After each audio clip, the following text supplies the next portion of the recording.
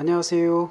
어, 또 음, AMP 강의로 뵙게 됐습니다. 어, 오늘 많이 덥네요. 아, 오늘은 또 강의도 많고 어, 상담도 하고 그래서 지금 목이 많이 에, 아파요. 어, 조금 쉰 소리가 좀 나올 것 같은데 그래도 공부는 즐겁게 해야죠. 에, 그래서 어, 지난 시간에 이어서 파스칼의 법칙 이어서 설명을 드리겠습니다. 지난 시간에 에, 여기까지 여기서부터 하면 되죠. 어, 104.17 psi까지 에, 했던 걸로 기억합니다. 네.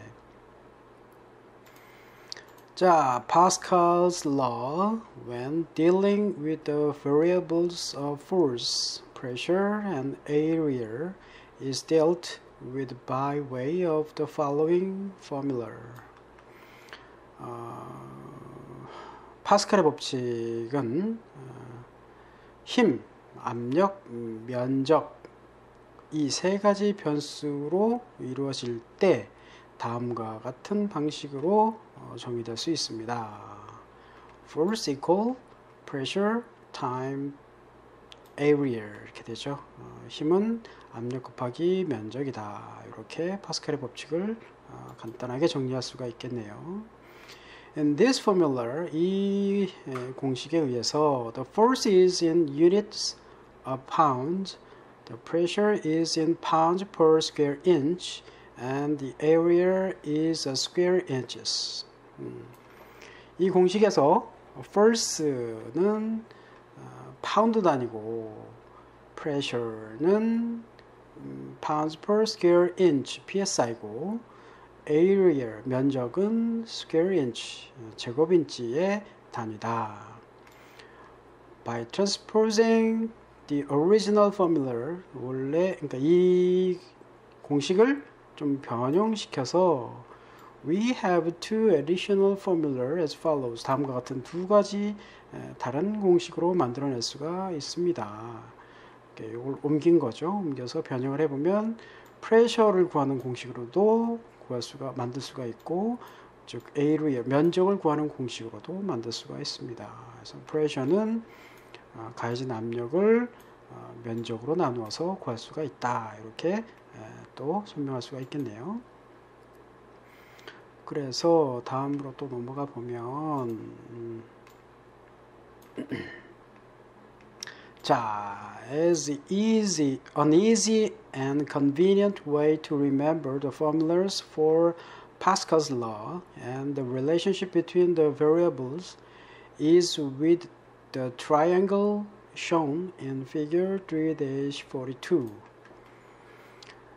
자, 파스칼의 법칙을 표현하는 이 공식을 보다 쉽고 편리하게 기억하기 위해서 어, 이 변수들 간의 관계를 그렇죠? The, the relationship between the variables 그러니까 그 변수들 간의 관계를 그림 3-42와 같이 삼각형으로 triangle 삼각형으로 표현하고 있습니다. 바로 위에 에, 그림으로 표현이 되고 있죠. 이렇게 음, 힘 그러니까 삼각형을 그려서 힘을 위에다가 쓰고 면적, 압력 이렇게 어, 삼각형으로 그려서 어, 쉽게 표현하고 있습니다. 아이고 넘어갔네. 네. 아이고. 자, 아이고 다시 조금 더 올릴게요. 예, 됐습니다. 아.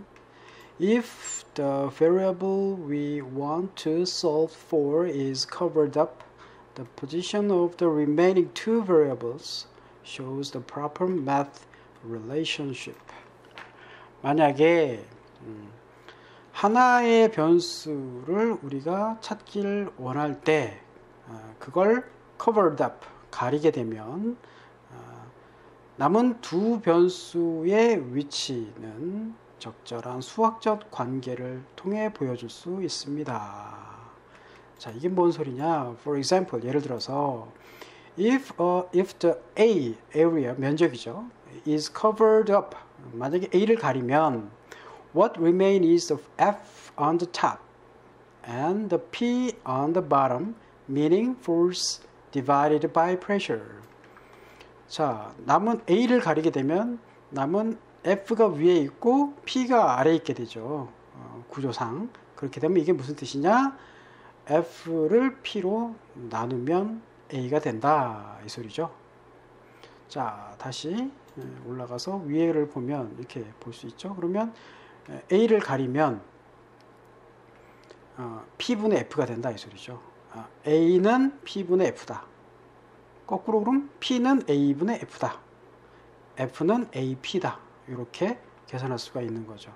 어, 그 미국에서는 이렇게 삼각형으로 이렇게 많이 표현을 하는데 찾기가 어렵지를 않아요. 어, 굉장히 쉽습니다. 이렇게 풀어놓는 게 해서 F는 AP, A는 P분의 F, P는 A분의 F 이렇게 외우시면 쉽죠 아주. 그래서 이렇게 어, 도형으로 많이 표현을 합니다. 아주 현명한 것 같아요. 어, 외우기도 쉽고 뭐 굳이 외우진 않아도 되는데 하나만 하고도 있으면 되죠. 네. 아무튼 음, 다음으로 이어서 보시면 자, the simple hydraulic system in figure 3-43 has a 5-pound force acting on a piston with a half square inch surface area. 자, 간단한 hydraulic 시스템을 그림 3-43에서 보여주고 있는데 어, 면적이 어, 2분의 1 제곱인치인 피스톤에 5파운드 힘이 작용하고 있습니다. 이렇게 설명하고 있네요. 이게 바로 아래 그림에 있죠.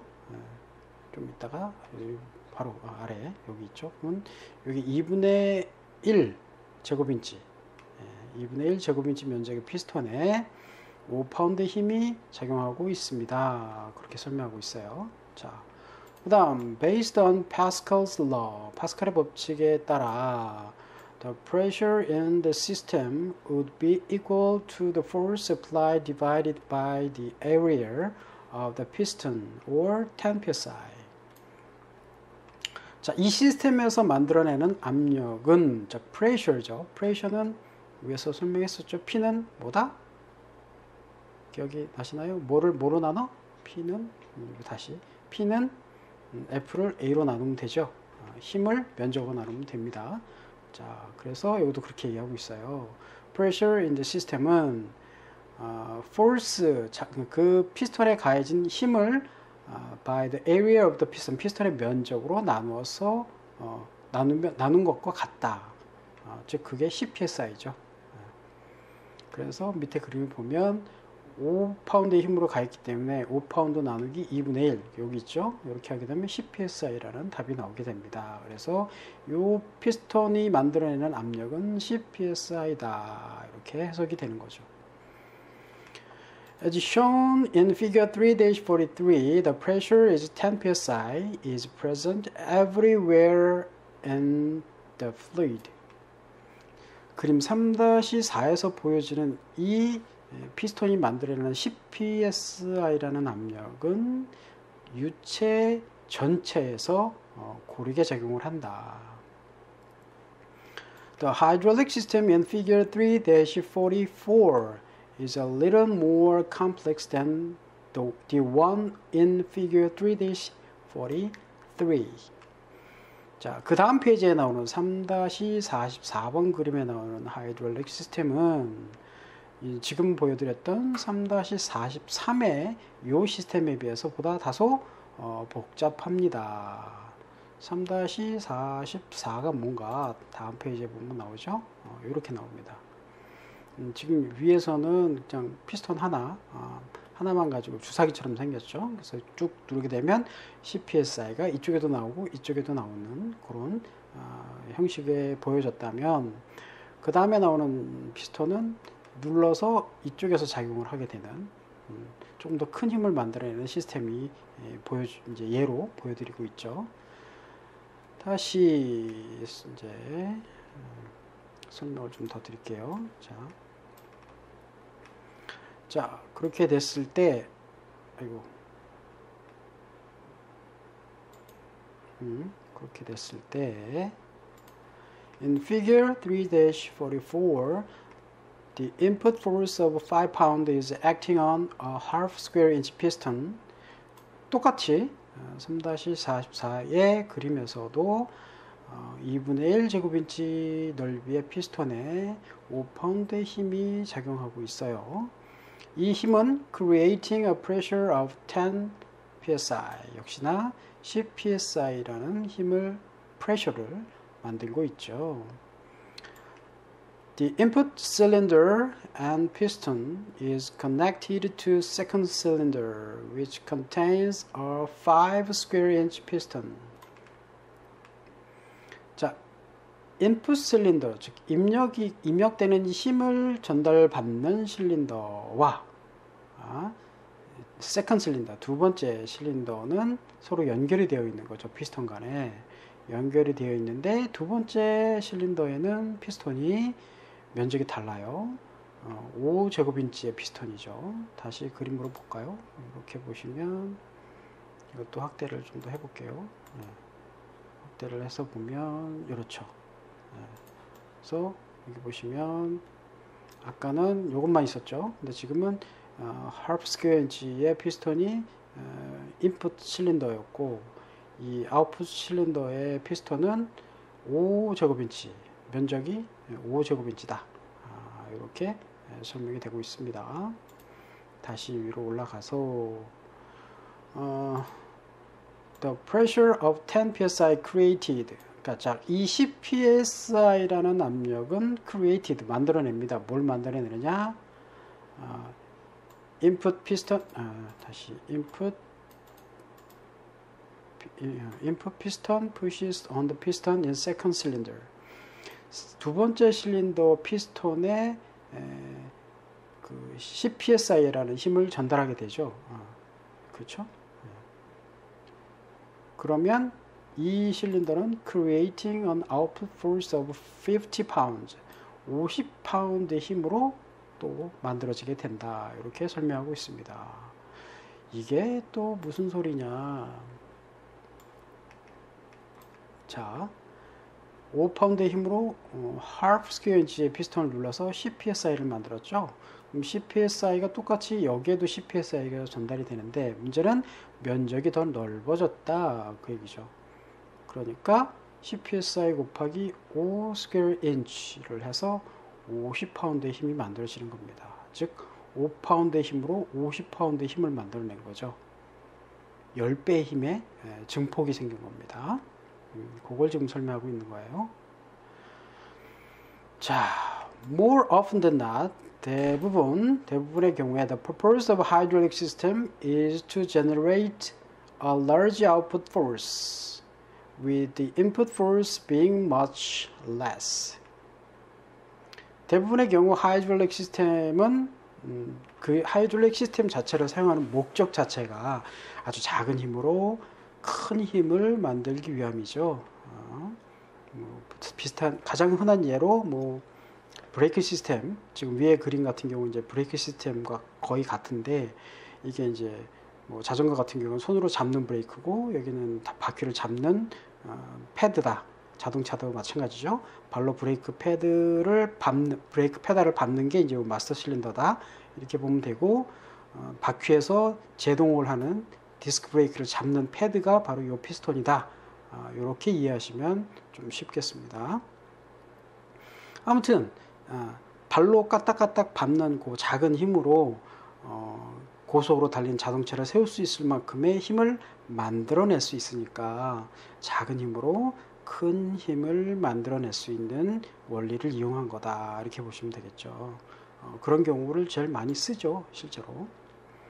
In figure 3-44, the input force is 5 pounds and the output force is 50 pounds or 10 times greater. 그림 3-44에서 보여지는 그림은 인풋 즉 입력된 힘이 5파운드밖에 안 되는데 출력되는 힘은 50파운드다 또는 10배 커진다 이렇게 설명이 되고 있습니다. The relationship between the output force and the input force, as discussed earlier in this chapter, in, is known as mechanical advantage.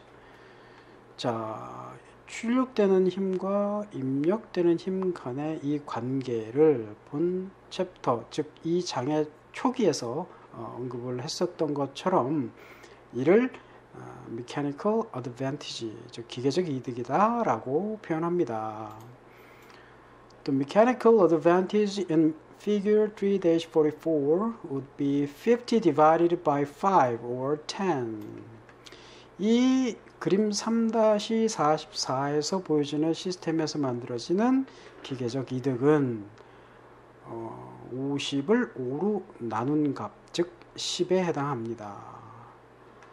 The following formulas can be used in to calculate mechanical advantage. 다음의 공식은 이러한 기계적 이득을 계산할 때 사용할 수 있습니다. 그래서 mechanical advantage는 출력되는 힘을 입력되는 힘으로 어, 나누거나 출력되는 거리를 입력되는 거리로 나누면 계산이 쉽습니다. 이렇게 얘기하는 거죠. 뭐 크게 어려울 곳은 없는데 자칫 놓치고 지나가거나 그 원리를 제대로 이해하지 못하고 넘어갔던 경우가 아, 많이 있어요. 어, 그래서 다시 점검을 한다 이런 생각으로 어, 공부를 하시면 좋을 것 같습니다. 예. 오늘은 여기까지 하죠. 어, 고맙습니다.